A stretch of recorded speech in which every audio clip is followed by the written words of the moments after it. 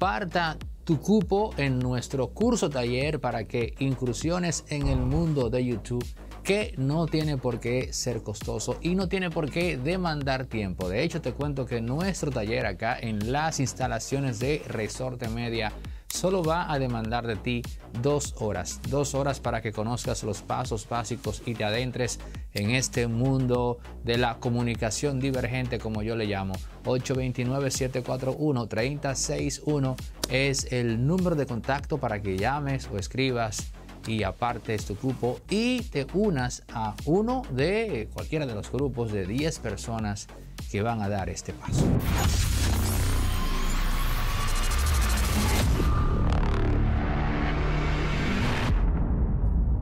Quiero compartir con ustedes dos temas en este capítulo, diciendo quizás además que me siento muy bien eh, de nuevo con el set habitual con el cual iniciamos Impolíticamente Correcto por allá, por el año 2019 con nuestra biblioteca personal. Eh, la traje acá a las instalaciones de Resorta Media e hice un set con ella porque me dije, caramba, me paso el día entero acá.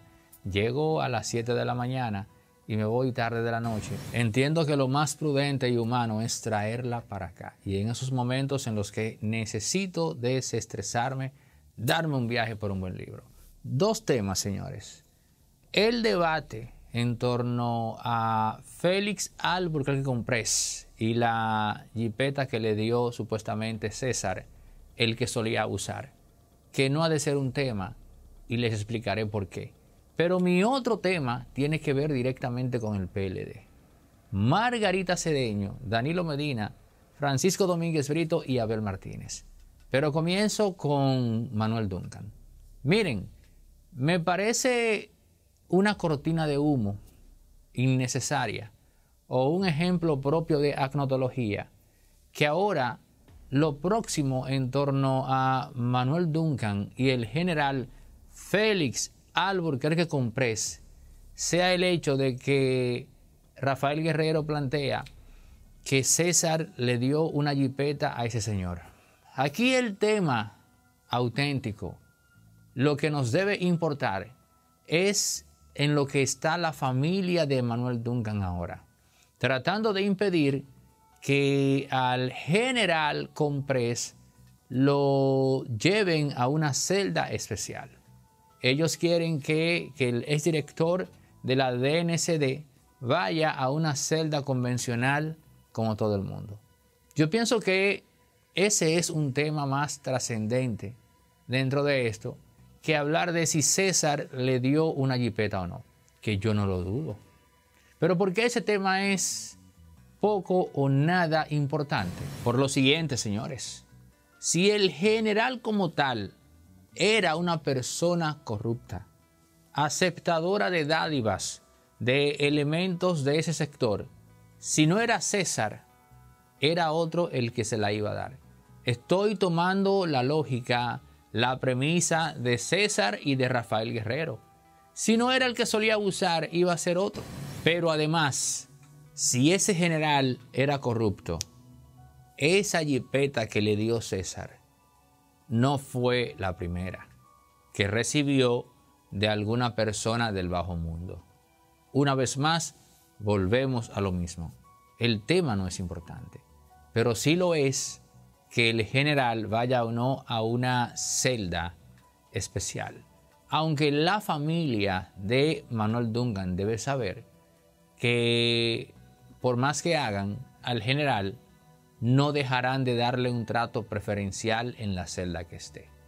Por un asunto de idiosincrasia, es un militar, es un general, y desde ya usted puede estar seguro que el mismo Alburquerque Comprés está una de dos, o averiguando dónde es que va a caer para ver quién está ahí y con quién puede contar que él conozca, o tramitando para que lo envíen a X lugar. Una de dos. Entonces, el tema no deja de ser la faceta más importante ahora de esto. ¿Y por qué? Bueno, pues porque así como el generalato se empoderó de cara a la sociedad civil, a nosotros nos toca empoderarnos como sociedad civil frente a una clase, una casta que nos ve como seres inferiores. Señores, nunca apareció, hasta ahora no ha aparecido el video en el cual Manuel Duncan le propicia los golpes aquellos al general. No porque esos golpes no existan, no porque ese video no exista, sino simplemente porque el generalato de República Dominicana ha tomado ese video y ha prohibido que lo filtren. En cambio, como dije en un capítulo anterior, si quieren ellos que se filtre el video donde cae abatido Manuel Duncan, porque ese es el video que manda el mensaje de miedo de cara a nosotros para que respetemos al generalato. Entonces, digo esto porque luchar, tratar de tumbar el pulso para que al general lo manden a una celda común y corriente, es un logro de la sociedad civil. Recuerden lo que les dije.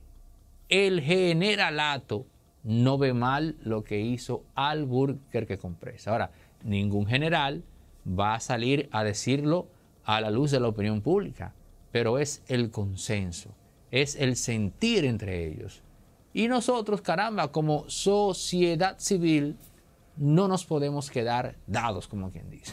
Que Alburquerque Comprés vaya a una celda común y corriente sería entonces una victoria, quizás pírrica, pero victoria al fin de nosotros sobre esos elementos que se creen superiores. Me refiero al generalato de República Dominicana.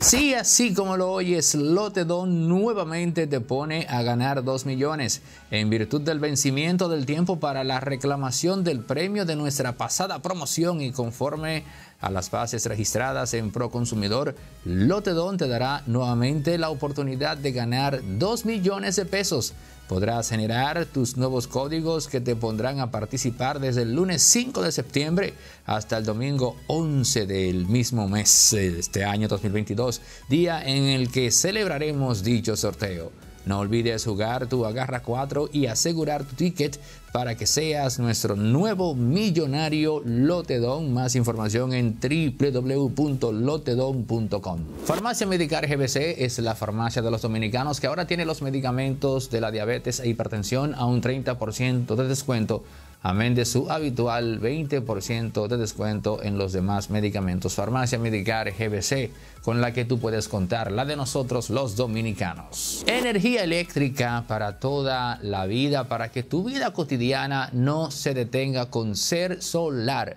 los expertos en instalación de paneles y celdas fotovoltaicas. Ser Solar, llámalos, escríbeles ahora mismo al número que ves en pantalla.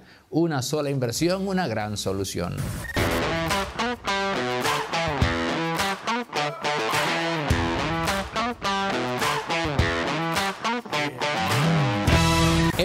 Central de este capítulo de Impolíticamente Correcto, que es el gran tema, lo que está ocurriendo en el PLD ahora mismo. Voy directo al grano. Hay una propuesta que se le está haciendo a Francisco Domínguez Brito y viene de una facción de su grupo para que acepte ser el candidato vicepresidencial de Margarita Cedeño. Francisco Domínguez Brito no se siente a gusto o cómodo con esto. De momento lo estará pensando, pero esa propuesta no viene de Margarita Cedeño. Es importante que ustedes sepan que ella, y esto, y esto puede parecer increíble, pero amén, ella no tiene voz ni voto en su proyecto. Ahí el que sabe es Danilo Medina y ella hace de manera obediente lo que le diga Danilo Medina. Se pudiera afirmar que el nivel de obediencia actualmente de Margarita hacia la figura de Danilo es mayor que el que en su momento tuvo sobre ella Leonel Fernández. Por lo tanto, esta propuesta viene del Danilato. Un servidor ve esta propuesta de llevar a Francisco Domínguez Brito como el candidato vicepresidencial lo ve como un grito desesperado. No por hacer que el PLD llegue al poder en el 2024. Porque ese acuerdo que, que hizo, que pactó Danilo con Luis Abinader, aunque no podemos precisarlo punto por punto, sí podemos caerle atrás en función de las acciones que ambos van a ejecutar en lo adelante. Y recordemos que dos semanas antes de que Danilo se juntara con Luis Abinader, el mismito Danilo dijo en un acto en San Cristóbal que él no le iba a hacer oposición al gobierno, porque él siempre ha creído que a los presidentes hay que dejarlos gobernar. Y habló de un tiempo para todo y un tiempo para volver al poder, refiriéndose al PLD, pero no precisó cuál era ese tiempo. Entonces, ¿por qué es un grito desesperado esta propuesta de Danilo Medina si no es un asunto en aras de llegar al poder en el 2024? Es un grito desesperado por el liderato del Partido de la Liberación Dominicana. Danilo Medina no está en el poder, pero ser presidente de ese partido y ser la figura que decida, ahora mismo lo es todo para él. Y él quiere que siga siendo así mientras vida tenga. La reelección que él no logró en el Estado Dominicano a través de Gonzalo Castillo él pretende instaurarla de manera continua en la presidencia del PLD. Así pues, estamos ante un grito desesperado de Danilo Medina porque quiere preservar su liderazgo como de lugar. Y por primera vez comenzamos a ver que Danilo está plenamente consciente de que o Francisco Domínguez Brito o Abel Martínez son una amenaza en potencia para ese liderazgo. Tratar de traer a Francisco Domínguez Brito como el candidato vicepresidencial de Margarita es por un lado neutralizar a un potencial líder que ocupe el lugar de Danilo, pero al mismo tiempo es debilitar a Abel Martínez, que a la hora de la verdad, si finalmente decide enfrentarse a Danilo Medina, una alianza puntual entre Francisco Domínguez Brito y Abel Martínez no sería algo, digamos, eh, de locos. Y si algo tiene Danilo Medina por encima de Francisco Domínguez Brito y Abel Martínez, es la capacidad de hacer cálculos políticos. Ese binomio, Francisco Domínguez Brito y Abel Martínez contra el expresidente Medina, es algo que el viejo zorro de la política ya ha contemplado.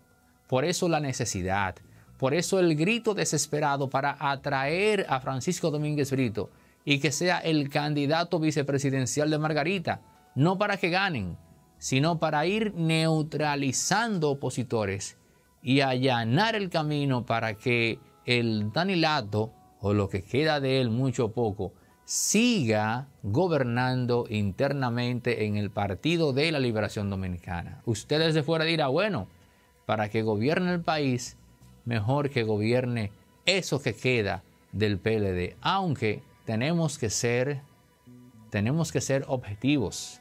No se puede subestimar al PLD, con o sin Danilo Medina. No se puede subestimar.